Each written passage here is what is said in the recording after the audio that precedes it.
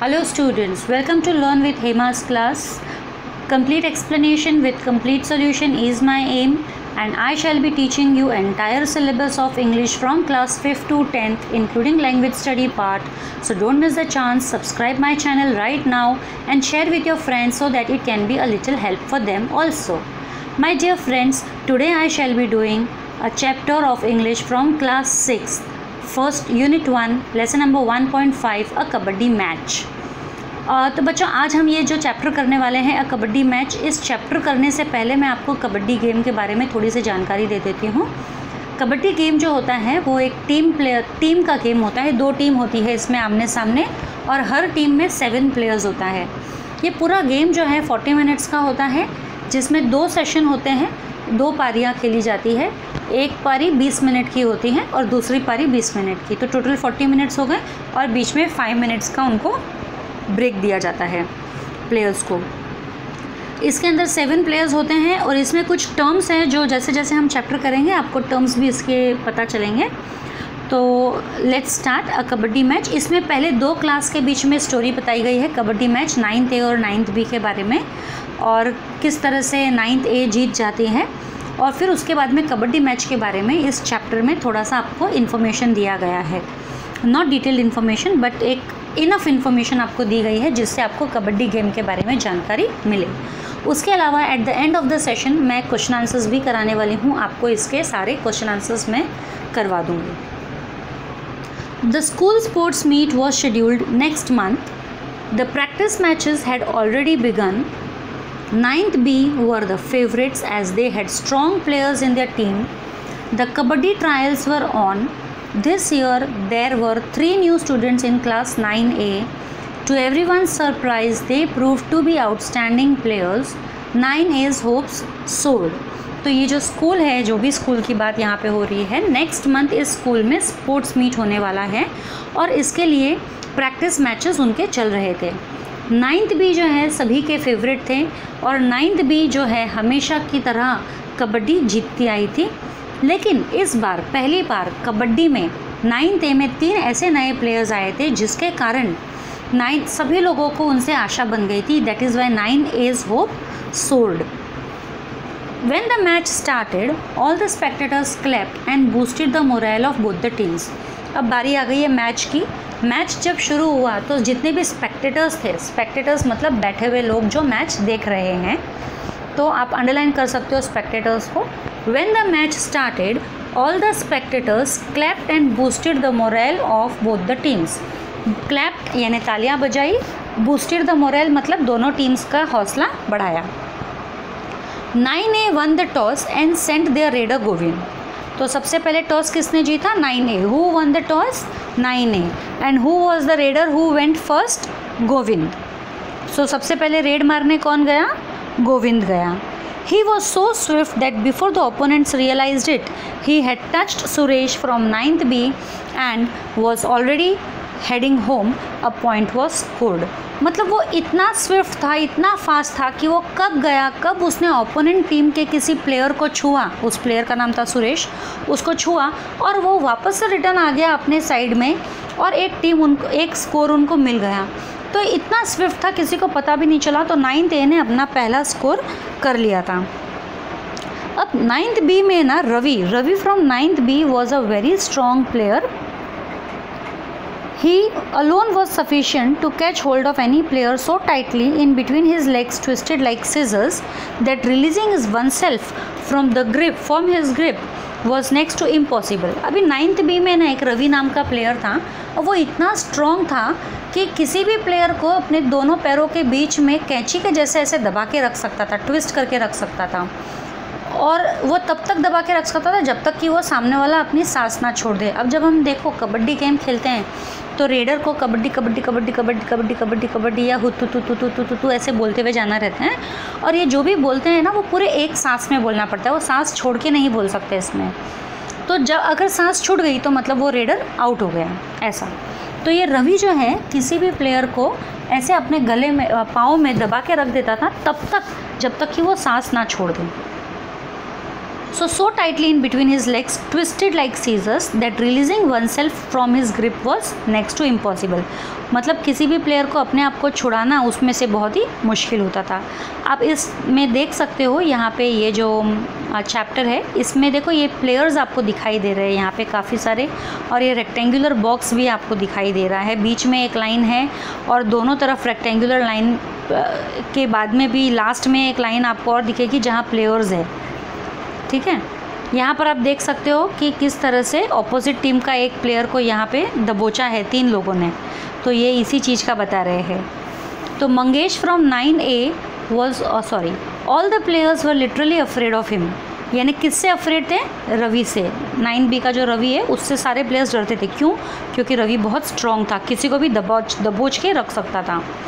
This ace player had won many matches for ninth B with the support of Mohan and Vinod तो ये जो ace player यानी कि best और important player सबसे important player ये अपने दो फ्रेंड्स मोहन और विनोद की मदद से इनने इन्होंने बहुत सारे मैचेस जीते हैं नाइन्थ बी के लिए। ना Mangesh from nine A was also strong अब मंगेश जो था नाइन ए का, वो भी कम स्ट्रॉन्ग नहीं था, वो भी काफ़ी स्ट्रॉन्ग था। He was a good match for Ravi और वो बराबर रवि का मुकाबला कर सकता था। Ravi was relaxed as he had never dreamt of any strong opposition from any team यहाँ पे रवि तो एकदम रिलैक्स था कि हाँ मुझे मेरे, मेरे मुझे किसकी हिम्मत है पकड़ने की। तो रवि एकदम रिलैक्स था। रवि को कुछ नहीं ही नेवर ड्रेम्ट ऑफ़ उसने कभी सपने में भी नहीं सोचा होगा कि उसको कोई हरा सकता है। तो when Mangesh was wrestled down by Ravi and his friends तो जब मंगेश नाइन्थ ए का मंगेश जब नाइन्थ बी में वापस से रेड डालने को गया तो रवि और उसके दो फ्रेंड्स ने मंगेश को दबोच लिया, पकड़ लिया। देखो, आपको यहाँ पे दिखाई दे रहा होगा ये जहाँ पर मैंने पॉइंट किया है वो। तो उसको दबोच लिया, रवि ने और उसके दो फ्रेंड्स ने मंगेश को। लेकिन मंगेश जो है धीरे धीरे मतलब मंगेश की कमर भी पकड़ ली, पैर भी पकड़ लिया हाँ? वेस्ट और लेग्स दोनों पकड़ लिया। देखो, आप देख सकते हो। जैसे ही उन लोगों ने पकड़ा मंगेश को तो स्पेक्टेटर्स को क्या लगा कि अब तो मंगेश गया, अब तो वो नहीं जीत सकते, अब तो मंगेश आउट हो जाएगा। लेकिन मंगेश ने सबको रॉन्ग साबित किया है। यहाँ पे मैं आगे रीड करती हूँ। When Mangesh was wrestled down by Ravi and his friends everyone in the spectators thought that nine A would lose Mangesh but Mangesh proved his mettle लेकिन मंगेश ने अपना जो स्ट्रेंथ है वो साबित किया। He proved his mettle he was on the ground with the anti raiders catching hold of his waist and legs वो तो ग्राउंड पे गिर गया था और एंटी रेडर्स जो दूसरे टीम के नाइन बी वाले थे, देखो आप यहाँ पे तीन लोगों ने पकड़ रखा है उसको। उन लोगों ने उसको पकड़ रखा था कमर से और पाँव से। Slowly he inch towards his court लेकिन मंगेश तो है ना धीरे धीरे अपने कोट की तरफ़ बढ़ रहा था। मतलब अपने साइड की तरफ़। Inch towards his court court मतलब अपने साइड की तरफ़। All the anti raiders with all their might were trying their best to pull him back और ये जितने भी एंटी रेडर्स थे नाइन बी वाले, ये सब के सब पूरी कोशिश कर रहे थे कि वो मंगेश को लाइन क्रॉस ना करने थे उसको पीछे खींचे। But with great determination and without losing his breath Mangesh successfully touch the mid line लेकिन मंगेश ने तो मानो डिटरमाइन कर रखा था मतलब निश्चय करके रखा था कि उसको तो लाइन क्रॉस करनी ही करनी है। और तो बिना सांस छोड़े वो क्रॉस करता गया, लाइन आगे बढ़ता गया बढ़ता गया बढ़ता गया और उसने सक्सेसफुली मिडिल लाइन को टच कर लिया। अब मिडिल लाइन को टच कर लिया कि यानी कि वो अपने साइड में पहुँच गया, वैसा होता है। तो अगर वो अपने साइड में पहुँच गया तो जिन तीन लोगों ने उसको पकड़ रखे थे, वो तीनों के तीनों out there were cheers in the air जो सबके सब चिल्लाने लग गए, खुशी के मारे, अरे वाह, क्या रेड मारी है, क्या रेड मारी है। He had not only saved himself but was also able to score three points मतलब उसने अपने आप को तो बचाया ही। साथ में उसने तीन पॉइंट भी स्कोर किए, क्योंकि तीन एंटी रेडर्स को बाहर निकाला ना। For his so he had not only saved himself but was also able to score three points for his team as Ravi Mohan and Ajinkya who were holding him were also declare out so so, किसने किसने पकड़ा था उसको? Ravi Mohan and Ajinkya. All this three players are from ninth B they were holding him ये तीनों के तीनों out हो गए थे डिक्लेयर हो गए थे। Now ninth B began to play cautiously अब इतनी देर तक तो बिंदास होके खेल रहे थे ना नाइन्थ बी कि उनको कोई हरा नहीं पाया है। लेकिन अब वो बहुत ही कॉशियसली संभल संभल के खेल रहे थे। Mihir one of their raiders even manage to take Soham in ninth A nothing much happened in the next few raids now it was Vivek's raid he always played with strategies and they worked fine. The remaining three players from 9B trapped Vivek. तो अब मैं पहले पहले का paragraph आपको बता देती हूँ कि थोड़ी देर तक तो नाइन्थ बी वालों ने एकदम कॉशियसली खेला और मिहिर, उनका जो एक रेडर्स था, उन्होंने सोहम को टैग भी किया। Even manage to tag Soham in ninth A यानी नाइन्थ ए के सोहम को आउट भी किया। ठीक है? किसने किया? मिहिर ने। Mihir was from ninth B and Soham was from ninth A so nothing much happened in the next few raids फिर उसके बाद में कि कुछ रेड्स में कुछ ज़्यादा नहीं हुआ, अब बारी थी विवेक की। Now it was Vivek's raid अब विवेक कौन है? Vivek is from nine A he always played with strategies and they worked fine और विवेक जो है ना, हमेशा स्ट्रेटजीज के साथ खेलता था, यानी हमेशा प्लान करके टेक्निक से खेलता था Vivek. So he always plan with strategies and they worked fine और उसकी स्ट्रेटजी या उसका प्लान हमेशा अच्छे से काम करता था। The remaining three players from nine B trap Vivek Vivek अब नाइन बी में खाली तीन प्लेयर्स बचे थे। टोटल सेवन प्लेयर्स होते हैं, चार प्लेयर्स आउट हो गए थे। अब खाली तीन प्लेयर्स बचे थे। तो इन तीन प्लेयर्स ने विवेक को ट्रैप कर लिया। ट्रैप कर लिया ने उसको सराउंड कर लिया। ठीक है? He slowly moved back towards his court लेकिन विवेक फिर धीरे धीरे अपने कोर्ट की तरफ़ जाने लगा। The three anti raiders also move with him और जो तीन एंटी रेडर्स थे, वो भी उसके साथ साथ आगे जाने लगे। When they caught his arm and were trying to pull him back और उन्होंने जैसे ही वो पीछे जा रहा था, उन्होंने उसका हाथ पकड़ा और उसको वापस से अपनी तरफ़ खींचने की कोशिश की कि वो वापस से ना जा पाए। लेकिन Vivek slipped his leg beyond the mid line with the anti raiders अभी इन लोगों ने क्या किया? उसका हाथ पकड़ा, ठीक है? अब पाँव कहाँ है पाँव तो छोड़ दिया पाँव नहीं पकड़ा। तो उसने धीरे से अपना पाँव जो है मिड लाइन की तरफ़ लगा दिया। तो तीनों के तीनों आउट हो गए। So when they caught his arm and were trying to pull him back, Vivek slipped his leg beyond the midline with the anti-raider still hanging on to his arm है ना? एंटी रेडर्स तो उसका हाथ पकड़ते रह गए और उसने अपना पैर नीचे से पीछे स्लिप कर दिया और वो मिड लाइन को टच कर दिया। ओ the whole of the nine B team was declare out पूरी की पूरी नाइन बी टीम जो है आउट हो गई थी। Nine A had actually manage to get three more bonus points of lona अब ऐसा होता है कबड्डी मैच में कि अगर आपने किसी भी टीम के सारे प्लेयर्स को 20 मिनट्स के अंदर पहले ही आउट कर दिया तो आपको एक बोनस पॉइंट्स मिलते थ्री पॉइंट्स का बोनस मिलता है, जिसको बोलते हैं lona okay it was an icing on the cake तो ये एक तरह से क्या ना, सोने पे सुहागा बोलते हैं।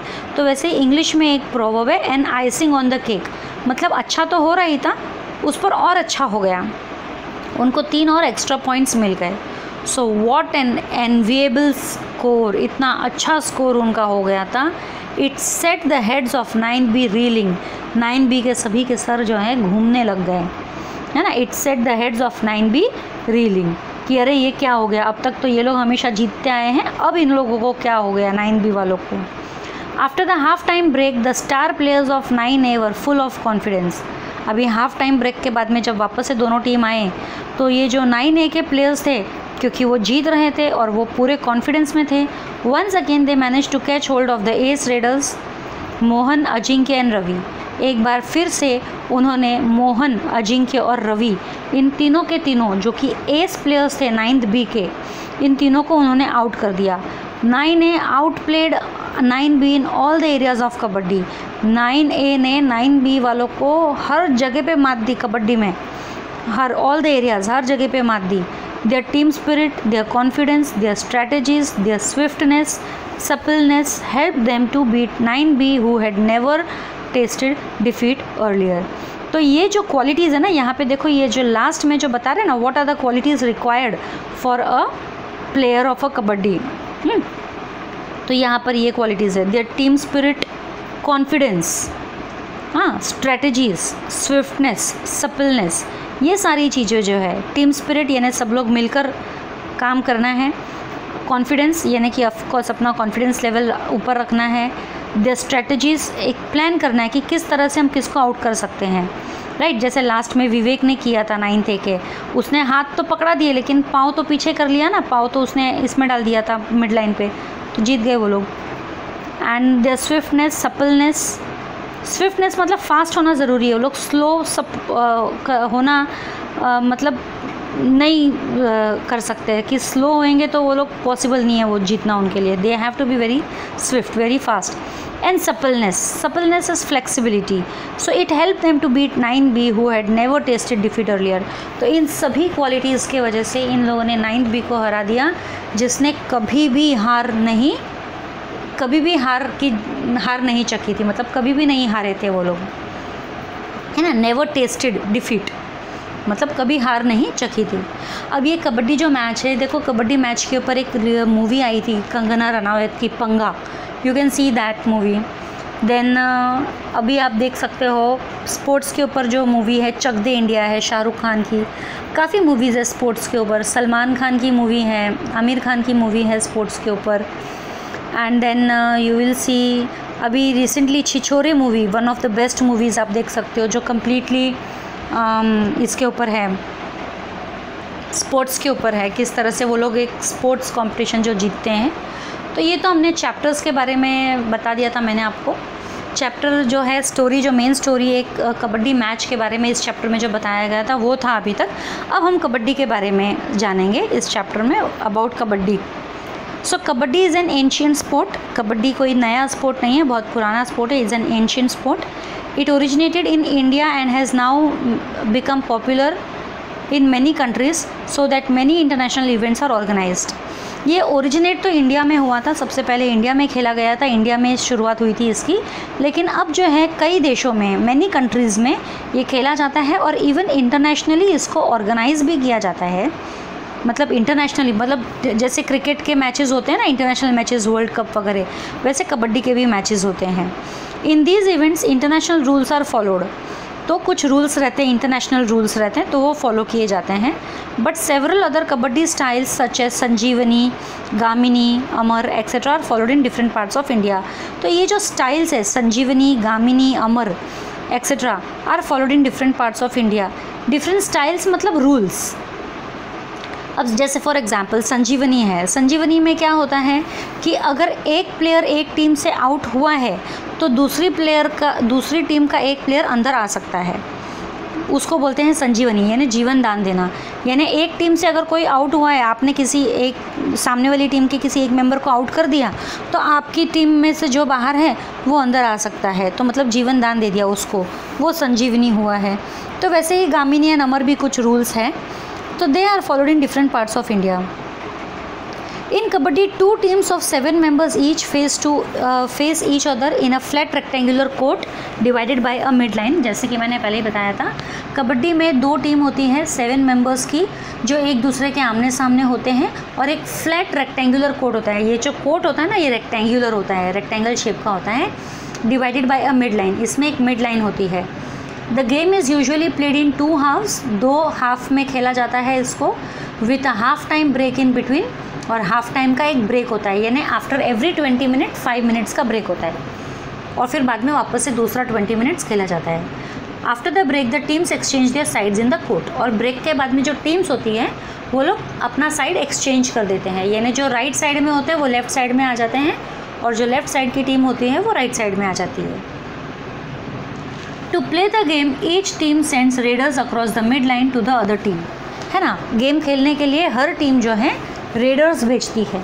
रेडर यानी जो कबड्डी कबड्डी बोलते हुए आगे जाता है दूसरे के टीम में और किसी को टैग करता है। टैग करना है यानी छूना, उसको आउट करना और वापस अपने टीम में आने की कोशिश करता है। So the raider tries to take the opponents and run back to his side all in one breath और ये सब जो करता है ना वो, सामने वाली टीम को टैग करके वापस से अपने साइड में आना, ये सब एक ही सांस में उसको करना पड़ता है, कबड्डी कबड्डी बोलते बोलते। अगर उसने ब्रेथ छोड़ दिया तो मतलब आउट हो गया। To show that he hasn't inhaled again he has to chant kabaddi kabaddi all the time है ना? एक ही सांस में करना पड़ता है, ये कैसे पता चलेगा? इसके लिए उसको कुछ बोलना पड़ता है। तो हम ये कबड्डी कबड्डी जो बोलते हैं, वो बोला जाता है। पूरा टाइम उसको ये बोलना पड़ता है। तो ही पता चलता है कि वो एक सांस में खेल रहा है। If he has to inhale again he is out और अगर उसने सांस ली तो वो बाहर हो गया। तो opponents try to catch the raider and stop him going back to his half till he loses his breath and has to inhale again और जो ओपोनेंट्स होते हैं, जब रेडर टैग करने आता है तो जो ओपोनेंट टीम होती है, वो उस रेडर को पकड़ लेती है और तब तक पकड़े रखती है जब तक कि वो अपनी ब्रेथ ना छोड़ दे। कबड्डी कबड्डी बोलना ना छोड़ दे और वापस से ना शुरुआत करे। तो वो उसने अगर सांस छोड़ दी तो वो आउट हो गया उधर ही। So if the raider manages to go back successfully all the person he has tagged and all those who have touched him are declared out लेकिन अगर रेडर सक्सेसफुली अपने टीम में वापस आ गया, अपने साइड में वापस आ गया तो जितने भी मेंबर्स ने उसको छूने की कोशिश की थी, छुआ है या उसको रोकने की कोशिश की थी, वो सब आउट हो जाते हैं। For each player declare out the opposite team scores a point जैसे एक ओपोनेंट टीम में अगर एक प्लेयर आउट हुआ है तो इस दूसरी टीम को एक पॉइंट मिलेगा। यानी जिस टीम का प्लेयर आउट हुआ है, उसकी दूसरी ऑपोजिट टीम को एक पॉइंट मिलेगा। If all the seven players in a team are out the opposite team gets a bonus point Alona लेकिन अगर सारे के सारे प्लेयर्स आउट हो गए तो अपोजिट टीम को बोनस पॉइंट मिलता है, जिसे हम कहते हैं lona. Lona means three points the team with the maximum points wins the match और जिसके पॉइंट्स मैक्सिमम होते हैं at the end of the game वो मैच जीत जाता है। अब the game of kabaddi requires good health अगर आपको कबड्डी खेलना है तो आपका कुछ रिक्वायरमेंट्स होता है फिजिक रिक्वायरमेंट्स होते हैं। जैसे गुड हेल्थ अच्छी health muscular strength muscle strong होनी चाहिए। स्ट्रेटेजिक स्किल्स आपके अंदर स्किल्स भी होने चाहिए। अ लॉट ऑफ़ प्रैक्टिस और बहुत ज़्यादा प्रैक्टिस की ज़रूरत होती है। Kabaddi is not an easy game बहुत प्रैक्टिस करनी पड़ती है and above all great determination और उसके ऊपर आपको ग्रेट डिटर्मिनेशन होना ज़रूरी है, जीतने की चाह। वो Indian girls and boys have always excelled at kabaddi. India में गर्ल्स हो या बॉयज़ हो, दोनों ने बहुत ही अच्छे कबड्डी खेले हैं। Would you like to be like to be an ace kabaddi player when you are a little older तो क्या आप भी बनना चाहोगे कबड्डी प्लेयर जब आप थोड़े से बड़े हो जाओगे तब? हु नोज़ क्या पता कि आप एक बहुत अच्छे कबड्डी प्लेयर बन गए हो। You may if you make a resolve now one day you may help win the glory for your school district और even the state and the country तो क्या पता अगर आप आज रिजॉल्व करते हो कि आप एक कबड्डी प्लेयर बनोगे और प्रैक्टिस चालू करते हो तो क्या पता आप कब अपने स्कूल के लिए स्कूल का नाम रोशन करो डिस्ट्रिक्ट का नाम रोशन करो या अपने स्टेट या कंट्री का नाम रोशन करो इस गेम के थ्रू तो ये था मेरा चैप्टर ये पूरा ख़त्म हो गया है। कबड्डी के ऊपर था कबड्डी गेम के बारे में सारे डिटेल्स यहाँ पे हैं। अब हम आते हैं क्वेश्चन आंसर्स की तरफ़। तो क्वेश्चन आंसर्स के लिए सबसे पहले मैं आती हूँ फ़र्स्ट क्वेश्चन पे। आ, तो मैं इसमें जो है आपको आ, कुछ okay I will directly start the answers indoor and outdoor games सबसे पहले आपको क्लासीफाई करना है। सबसे पहले आपको बताना है गेम्स के नाम। Form pairs make a list of as many games as you can at least twenty five तो गेम्स के नाम तो आप खुद भी बता सकते हो, फिर भी मैं बता देती हूँ। जैसे बोलिंग हो गया B O W L I N G है ना? Bowling cricket judo karate boxing basketball table tennis golf weight lifting soccer chess hockey kung kho kho swimming gymnastics wrestling volleyball badminton boxing archery squash diving billiards तो ये सारे game मैंने आपको नाम बताए हैं। यहाँ पे ये 25 से भी ज़्यादा गेम है। ओके अब मैं बताती हूँ आपको indoor games and outdoor games ये जितने भी गेम्स हैं, उनमें से कुछ इंडोर हैं, कुछ आउटडोर हैं। जैसे इंडोर गेम्स के मैं आपको पाँच नाम बता देती हूँ। बिलियार्ड्स बिलियार्ड्स एक इंडोर गेम है। Bowling B O W L I N G bowling boxing chess gymnastics judo karate kung fu squash swimming table tennis weight lifting wrestling ये सारे इंडोर गेम्स हैं। आप कोई भी पाँच इसमें से लिख सकते हो। और ये जो आपका, ये जो मैं जहाँ टिक मार्क कर रही हूँ, वो उसमें आप लिख सकते हो। जैसे, है ना indoor games and outdoor games आप दो ग्रुप बना सकते हो और दो ग्रुप में ऐसा पूरा लिख सकते हो। आउटडोर गेम्स में नाम बता देती हूँ मैं आपको। Archery cricket diving golf hockey tennis volleyball kho kho ये आउटडोर गेम्स में आपके आ जाते हैं। अभी बच्चे खेल सकते हैं या एडल्ट खेल सकते हैं, ये अगर पता करना है है ना? गेम्स प्लेड बाय एडल्ट और गेम्स प्लेड बाय चिल्ड्रन ये ये वाला क्वेश्चन है. गेम्स प्लेड बाय एडल्ट और गेम्स प्लेड बाय चिल्ड्रन तो चिल्ड्रन में आप देख सकते हो ब्लाइंड मैंस बफ है ना? किसी का आँख बंद कर दो और उसको पकड़ने के लिए बोलो. कॉप्स एंड रॉबर्स चोर police cops and robbers dodge ball बच्चे लोग डॉज बॉल खेल सकते हैं. स्कूल में भी हम खेलते हैं. फोर स्क्वायर, चार कोने आई स्पाई लीप फ्रॉग इस तरह के कुछ गेम्स है। पिकअप स्टिक्स रिंगा रिंगा रोजेस ये भी आपके कुछ गेम्स है जो बच्चे खेलते हैं। अब बड़े कौन से गेम खेल सकते हैं? Adult adult people chess snooker hockey cricket badminton football polo billiards ये सारे गेम एडल्ट खेल सकते हैं। अब जो ये इस तरह का ये डायग्राम दिया है, ये यहाँ पे इसके अंदर जैसे आप देख सकते हो टीम गेम्स जैसे इधर बीच में मैंने टीम गेम्स लिख दिया। तो टीम गेम्स में क्या क्या आ सकता है? Cricket volleyball football throwball basketball ऐसा। और इसके अंदर आप लिख सकते हो, जैसे वन टू वन मैचेस वाले गेम हैं। One to one matches one to one matches मतलब टेनिस बॉक्सिंग बैडमिंटन यानी एक एक प्लेयर आमने सामने आते हैं वैसे one to one matches chess wrestling ये सब वन टू वन मैचेस वाले गेम तो ये इस तरीके से हम यहाँ पे इनमें बना सकते हैं।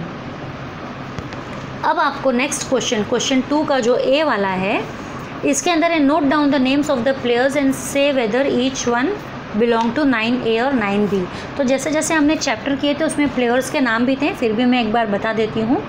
पहला प्लेयर है Govind ninth A then Suresh nine B Ravi nine B Mohan nine B Vinod nine B then we have Mangesh nine A Ajinkya nine B Mihir nine B Sohan nine A Vivek nine A तो ये सारे players के मैंने नाम आपको दे दिए हैं। Describe in your own words the important events in the first half तो फ़र्स्ट हाफ़ में क्या इंपॉर्टेंट इवेंट्स हैं?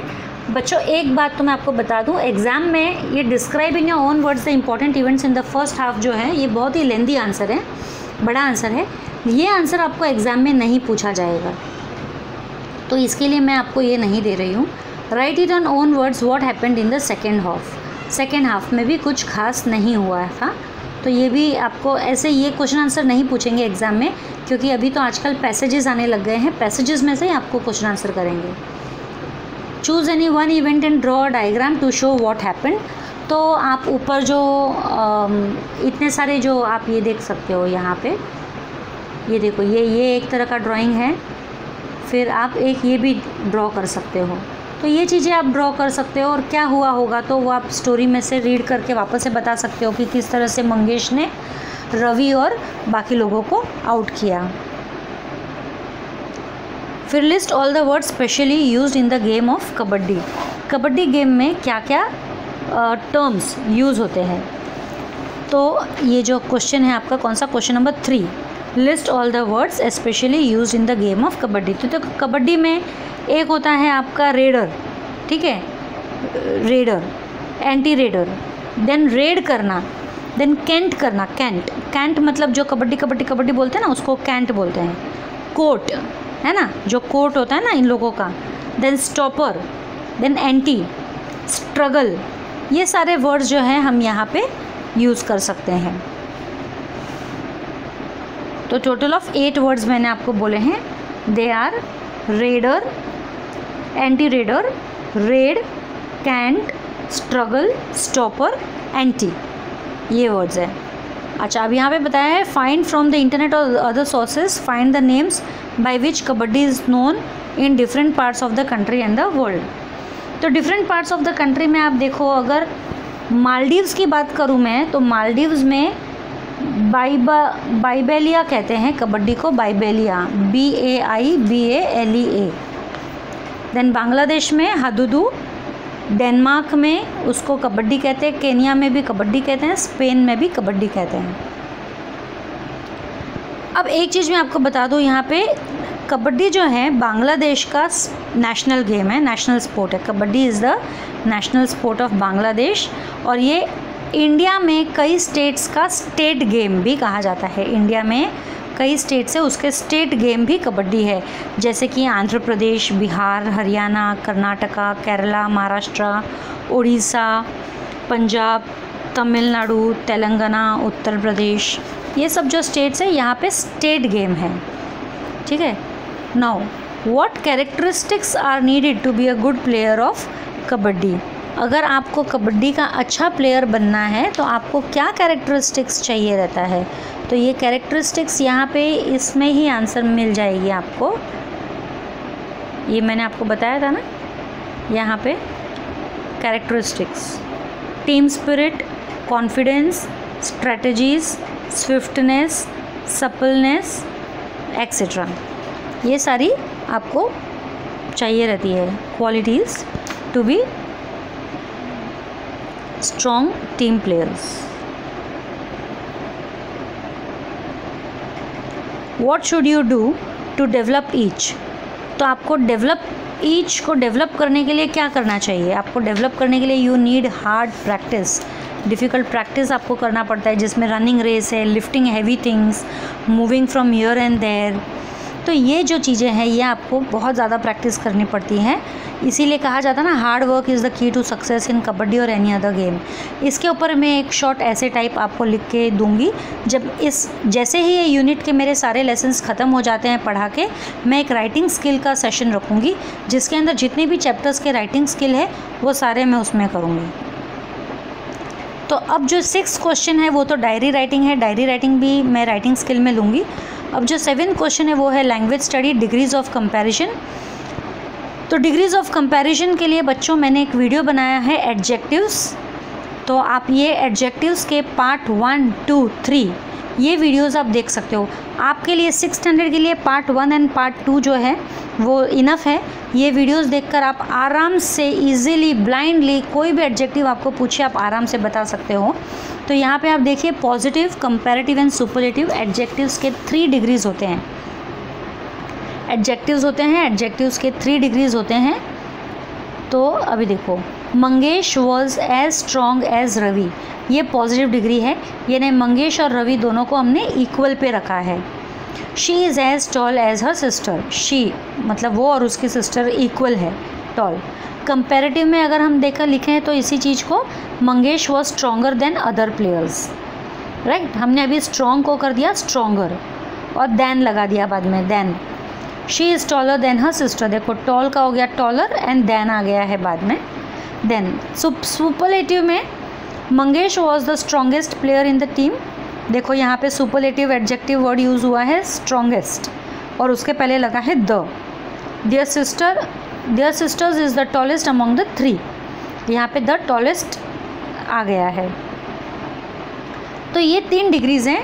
ये ये जो चैप्टर जो मैंने रिकॉर्डिंग किए हैं, आपने मुझे सब्सक्राइब किया है तो आपको मेरे सारे वीडियोस मिलेंगे। और आप सर्च कर सकते हो adjective part one adjective part two और ये दोनों के ही अंदर आपको एडजेक्टिव्स के सारी जानकारी मिल जाएगी, किस तरीके से हम एडजेक्टिव बनाते हैं, किस तरीके से एडजेक्टिव की डिग्रीज़ होती है। तो नॉर्मली हम ई e आर और ई एस टी लगाते हैं। और डिग्रीज़ बनाने के लिए comparative and superlative for comparative हम ई e आर लगाते हैं एंड फॉर सुपरलेटिव हम ई एस टी लगाते हैं.